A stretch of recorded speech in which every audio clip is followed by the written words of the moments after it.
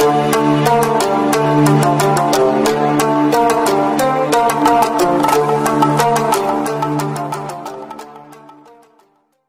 Welcome to cricket with M Z sports channel friends امید ہے کہ آپ خیریت سے ہوں گے اور ورلڈ کپ کے میچز کو انجوائے کر رہے ہوں گے.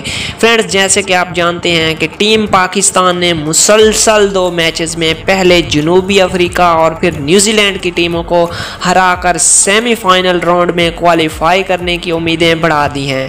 اور آج شاہینوں کا اہم مقابلہ افغانستان کے ساتھ ہے اور اس میچ میں جیت کے بعد شاہین پوائنٹس ٹیبل پر پر ایک لمبی چھلانگ لگائیں گے۔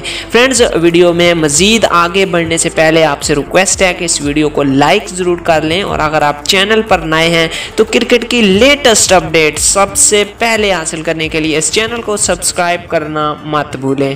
تو فرینڈز آپ کو بتاتے چلیں کہ ٹیم پاکستان کا آج ایک اور اہم مقابلہ افغانستان کے ساتھ ہے اور ٹیم پاکستان کے لیے آج کا مقابلہ جیتنا بھی بہت ضروری ہے۔ اور آج اس مقابلے کے لیے ٹیم پاکستان میں کسی تبدیلی کی کوئی گنجائش نہیں ہے اور کوئی امکان ظاہر نہیں کیا جا رہا کہ آج کے مقابلے کے لیے ٹیم میں کوئی تبدیلی کی جائے گی اور آپ کو یہ بھی بتاتے چلیں کہ ٹیم پاکستان اس وقت پوائنٹس ٹیبل پر نمبر چھ پوزیشن پر موجود ہے اور اس کے پوائنٹس کی تعداد سات ہے۔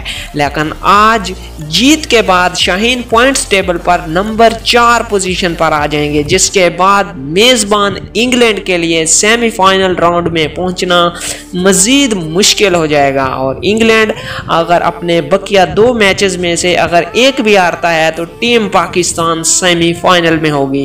جبکہ ٹیم پاکستان کو پانچ جولائی کو بھی افغان بنگلہ دیش کی ٹیم کو ہرانا لازمی ہے۔ تو فرینڈز، امید ہے کہ شاہین افغانستان کے ساتھ ساتھ بنگلہ دیش کو بھی بآسانی شکست دے کر سیمی فائنل راؤنڈ کے لیے کوالیفائی کر لیں گے۔ فرینڈز، یہ ہیں اب تک کی latest update updates team Pakistan کے حوالے سے ورلڈ کپ دو ہزار انیس کے حوالے سے۔